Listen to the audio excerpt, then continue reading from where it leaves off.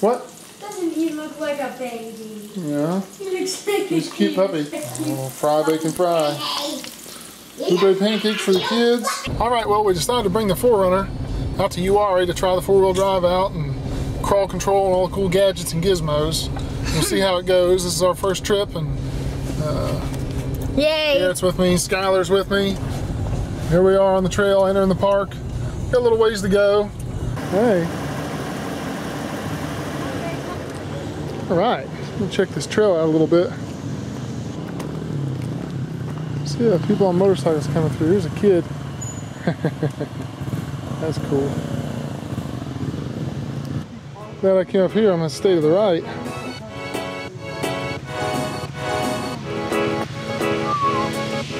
All